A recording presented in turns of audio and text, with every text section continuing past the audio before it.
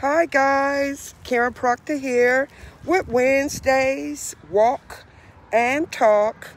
I know you guys probably haven't seen a walk video from me in a while. I have been walking, but not necessarily going live because uh, I've just been taking time to walk and just to pray in silence to God. Not in silence to God, but without the camera, just praying, uh, just taking dominion over the atmosphere, over my neighborhood, over the community. But today I want to uh, just to share a little bit. Um, yesterday, I woke up with Psalms 90 in my spirit. And more so, verse 12, where it says, Teach us to number our days and to apply and to apply our heart unto wisdom. And so that Psalms just uh, just ring out to me uh, so loud yesterday till I, you know, just began to take inventory over my life and, you know, just asking God to make me, mold me, control me, uh, to take everything out of me that's not like Him, to make me a vessel of honor, that I not miss the uh, mark with Him, and just really, you know, trying to be cognizant of where I am on my journey in life. And so every now and again, we have to take that kind of inventory to ask God to, to give us wisdom that we may apply our heart unto to wisdom. Uh, most people attribute that Psalms to Moses. Teach us to number our days. Uh, in Psalms 90.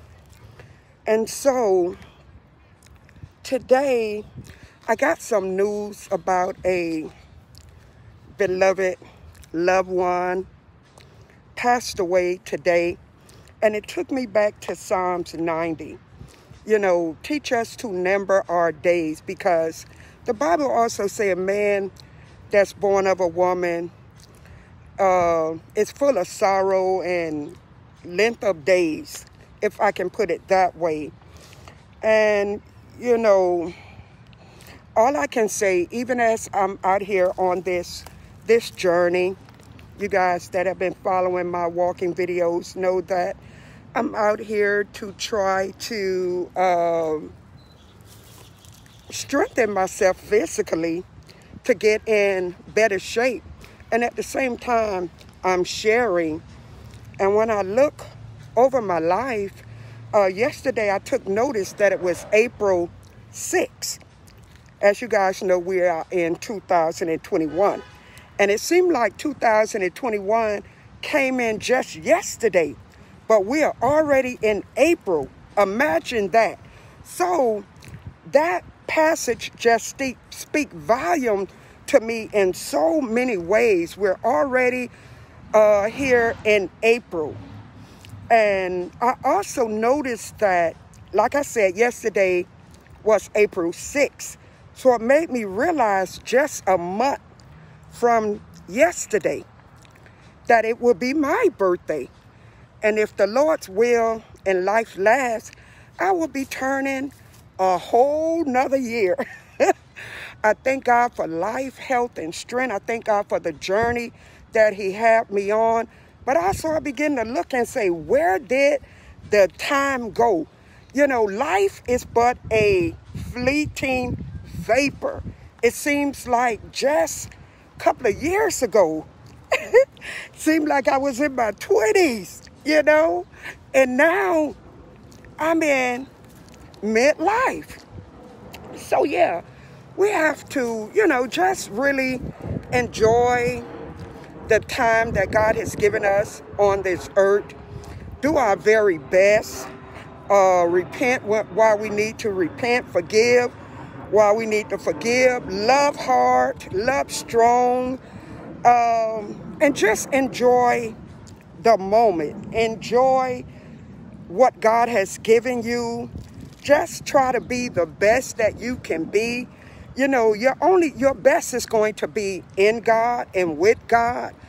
You know, just try to be thankful and just live life to the fullest. I never expected today, earlier today, that I would have gotten a call to say that my loved one, one of my loved ones, passed away. Uh, no surprise to the Lord, but a big, big surprise to me. And again, that made me go back to Psalms 90 and 12. Teach us to number our days, that we may apply our hearts unto uh, unto wisdom, so that you know we will just be ready when the Lord uh, calls us, and do you can do what you could while you can, because after that, nobody knows. And so, as I was um, coming from my family house to come back home, you know, just going to be there for my family. Um, as I was driving back home, I just began to think of some of the memories that I personally had with that loved one. You know, everything just started rolling before me, rolling before me from being a little girl up until this present time. Conversations that we shared together, a lot of laughing moments together, uh, and all of that good stuff. And so as I got in front of my house, I parked. I, I didn't even go into the driveway. I just parked on the outside of the yard because I wasn't sure that I was ready to go inside, you know. But I I just stopped and just prayed for a second. You know, we know a lot about the Lord by reading his word. And then there are some things that we just don't know until we meet him one day face to face. So I just began to pray. I say, Lord, you know, if it be possible, I don't know, the breath is already gone out of the body, you know. I say, but God, I don't know. I say, God, if it be possible, I say, only you and you know where our souls go. You know, we try to live the best we can, acknowledge Jesus Christ as our Lord and Savior while we are awoke. But I say, Lord, if this can be such a prayer, I say, Lord, I, I just need you to receive my loved one into your arms, into your bosom. Let it be a resounding yes, well done, well done. You know, because folks, can I tell you, a lot of people don't think that heaven and hell is real. You will hear people say sometimes, oh, this is heaven here. This is hell here. It can't be no worse than this. It cannot be no worse than this. But I say, God, if it be possible, Lord God, I just want you to just receive my loved one with a big old, great big old yes, yes, yes, yes. Come up higher, be with me. I say, Lord, I pray that prayer in the name of Jesus, and that's it. So I went and got me something to eat, pulled off, went and got something to eat, came back home, sat down to eat, have my lunch. And my clock went off. This is a little, little uh, traveling clock. I normally take it with me when I travel, put in a hotel room with me. You know, sometimes we look at our phone for the time these days. Uh, I have watches, but I don't wear them. Um, so I normally take this clock with me so I'm not late to any of my engagements when I'm uh, out of town. So that little clock will be right there. But I heard something like a big, big, big, big um, sound like an alarm. Now, I don't have a alarm in my house. Sad to say, I don't have security alarm. Um, well, I won't say sad to say because I have security, but not alarm. It goes by camera. I don't have a fire alarm. So I was wondering where this loud echoing uh, sound come from. I jump up, look out the window, look all around my family room, looked at my phone. I'm like, where is this sound coming from? So I pulled the cords out of the uh, electrical outlet because I could not, I had my laptop up, but the sound wasn't coming from the laptop. So as I got closer to the table where I, the, the clock just sit there. I never put an alarm as long as I had this clock. I never, ever put an alarm on that clock. That clock was ah, making all kind of loud, loud noise. So I finally figured out the alarm was coming from the clock. So I shut it down. When I look at the clock, it was 2 p.m. 2 p.m. Somebody may be saying, where are you going with this, Apostle Proctor? Where are you going with this? But you know, God speaks to people in so many different kind of ways. You just got to know how God speaks. And if it's him that is speaking, if it is a coincidence, or if it is God. But me, being the person that I am, I took notice of the time and it was 2 o'clock. Now we got the notice way earlier in the day. Um, body already gone. But I said, why is this clock uh, made that big old alarming noise and would not go out? And I'm looking, and like I said, 2 o'clock. And then the first thing that came to my mind is 2 is the number of agreement. 2 is the number of witness.